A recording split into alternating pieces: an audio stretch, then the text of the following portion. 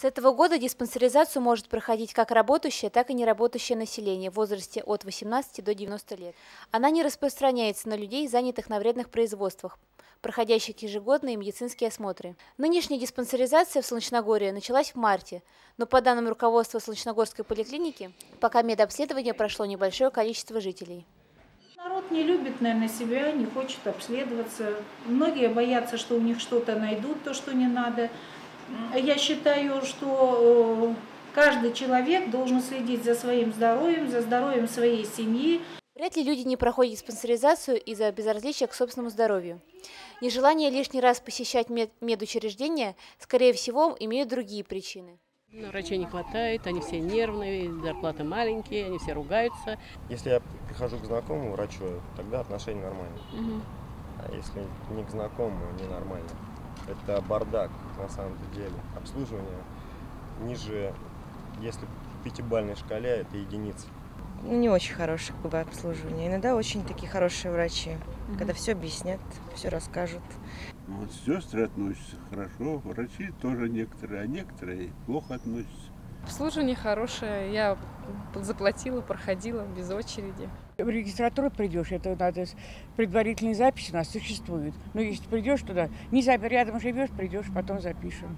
Вот так отвечают, предварительно. Ну, чтобы записать предварительно, она сидит, к ней на, на казень подъедешь.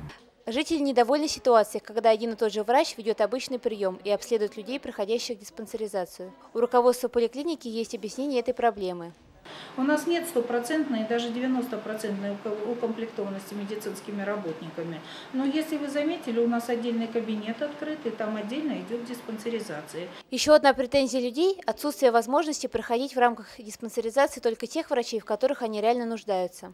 Ну, стандарт есть, вправо-влево ничего нельзя. То есть я хотел э, пройти, э, допустим, УЗИ, потому что я несколько лет назад переболел острым панкреатитом.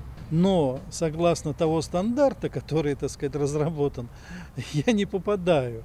Заведующая поликлиникой пояснила нам, что для диспансеризации существует жесткий регламент, а для свободного выбора узких специалистов у посетителей есть возможность пройти бесплатный профилактический осмотр. Чтобы сделать собственный вывод о качестве диспансеризации, я решила сама в ней поучаствовать. Отношение медперсонала ко мне было хорошим. Может быть, причиной тому послужила телекамера, но пока я проходила осмотр, люди, ожидающие приема, возмущались. Почему врач тратит на журналиста много времени, а их принимает за несколько минут? Да, у меня глазной 32. Да вы старайтесь, вы не нервничайте. Не могу, потому что я сидеть столько. Общая очередь. Я иду. По окончанию диспансеризации мне показали и объяснили результаты. Кроме этого, врач выписал специальную диету. Нашему знакомому Сергею Васильевичу диспансеризация в целом тоже понравилась. Мне понравился еще, так сказать, невропатолог, то есть он посмотрел, то есть остеохондроз, и сразу мне выписал так сказать, направление на массаж. Но у нас остался еще один вопрос. Считать ли диспансеризацию эффективной, если за три года между такими осмотрами у человека может развиться серьезный недуг? Заболевание может развиться и в течение одного месяца, и в течение двух месяцев.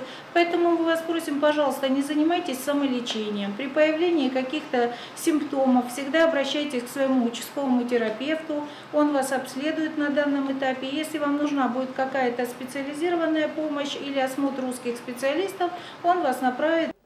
Если вы хотите сами пройти диспансеризацию и составить о ней собственное мнение, обращайтесь по телефону 64 52 22 или в кабинет Солнечногорской поликлиники, номер 106. Помните, что диспансеризация – способ профилактики. Лучше болезнь предотвратить, чем лечить ее.